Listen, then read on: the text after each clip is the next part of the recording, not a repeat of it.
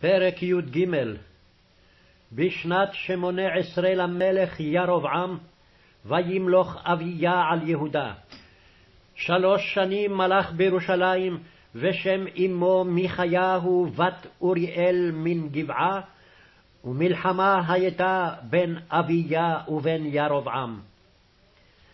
ויאסור אביה את המלחמה בחיל גיבורי מלחמה, ארבע מאות אלף איש בחור, וירבעם ערך עמו מלחמה בשמונה מאות אלף איש בחור, גיבור חיל.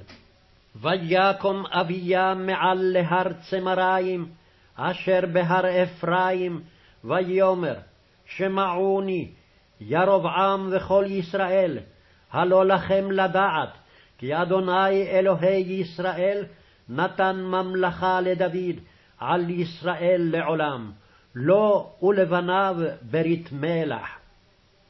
ויקום ירבעם בן נבט, עבד שלמה בן דוד, וימרוד על אדוניו, ויקבצו עליו אנשים ריקים בני בליעל, ויתאמצו על רחבעם בן שלמה, ורחבעם היה נער ורך לבב, ולא התחזק לפניהם.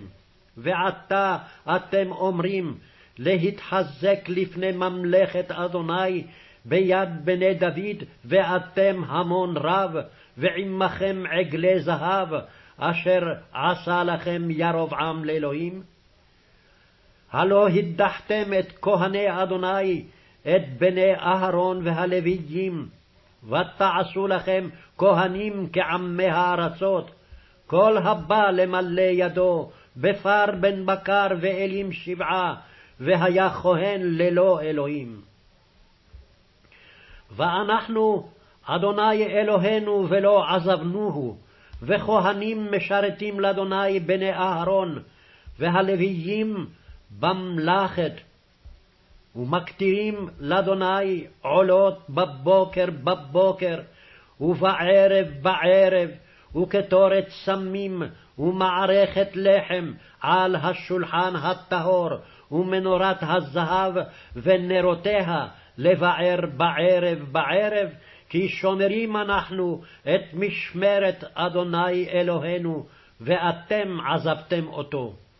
והנה עמנו בראש האלוהים וכהניו, וחצוצרות התרועה להריע עליכם. בני ישראל, אל תילחמו עם אדוני אלוהי אבותיכם, כי לא תצליחו. וירבעם הסב את המערב, לבוא מאחריהם, ויהיו לפני יהודה, והמערב מאחריהם. ויפנו יהודה, והנה להם המלחמה פנים ואחור, ויצעקו לאדוני, והכהנים מחצרים בחצוצרות. ויריעו איש יהודה, ויהי בהריע איש יהודה, והאלוהים נגף את ירבעם וכל ישראל לפני אביה ויהודה. וינוסו בני ישראל מפני יהודה, ויתנם אלוהים בידם, ויכו בהם אביה ועמו מכה רבה, ויפלו חללים מישראל חמש מאות אלף איש בחור. ויקנעו בני ישראל בעת ההיא, ויאמצו בני יהודה, כי נשענו על אדוני אלוהי אבותיהם.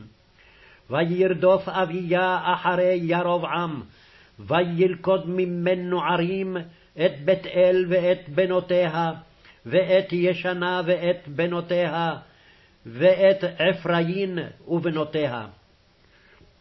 ולא עצר כוח ירבעם עוד בימי אביהו. ויגפהו אדוני וימות. ויתחזק אביהו, ויישא לו נשים ארבע עשרה, ויולד עשרים ושניים בנים ושש עשרה בנות. ויתר דברי אביה ודרכיו ודבריו כתובים במדרש הנביא עדו.